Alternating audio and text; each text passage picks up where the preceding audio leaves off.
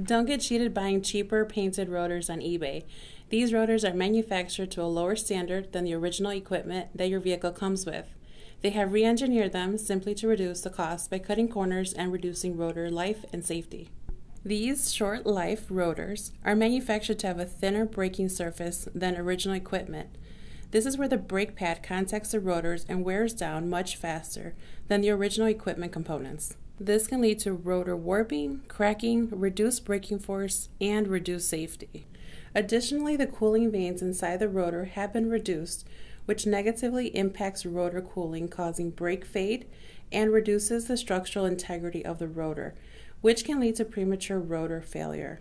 All brake overstock rotors are manufactured to original equipment specifications, just like the ones that came on your vehicle from the factory. This includes a thicker braking surface that extends rotor life, extends pad life, and increases the stopping power and safety of your vehicle. We also retain original equipment specifications for rotor cooling vanes. More cooling means less heat in your brakes, leading to more consistent stops and longer life for all of your braking components. Don't sacrifice thousands of miles of brake life or your family's safety over a few dollars. Know exactly what you're paying for. Buy with confidence from Brake Overstock.